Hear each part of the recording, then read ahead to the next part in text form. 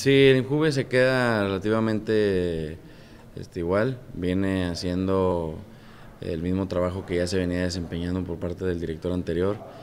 Él dejó un plan de trabajo de enero a diciembre, el cual estamos dando continuidad.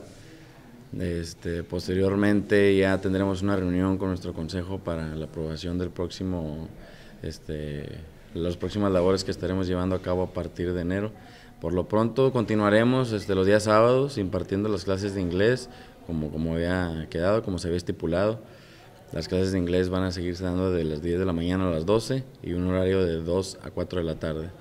También se están dando las, las clases de karate los lunes, martes y jueves, aquí de 4 a 6 de la tarde.